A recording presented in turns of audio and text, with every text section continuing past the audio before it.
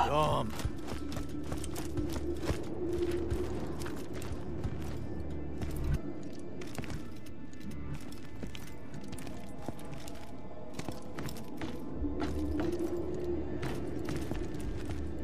Excuse me.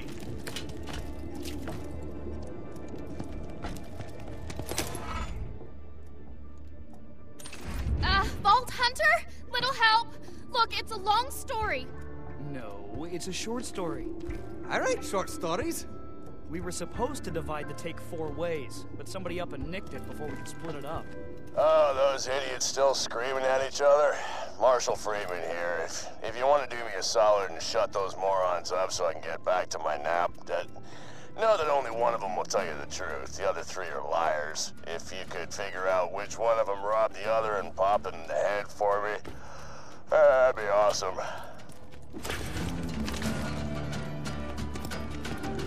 Look, between you and me, O'Cant... Sam stole the cash, without question. After she and O'Cantler were done celebrating our successful heist, I saw her stuff the loot down her pants. Look, given what we know about human consciousness, I can be certain of only one thing. I didn't steal the money. I know my own mind, and I know my mind didn't steal Even if we beat Hyperion, If I knew everyone else's minds, I might be their able to help you a bit more, do. but sadly, I can only speak for myself, and I'm doing that now. Speaking to say that I didn't steal the money.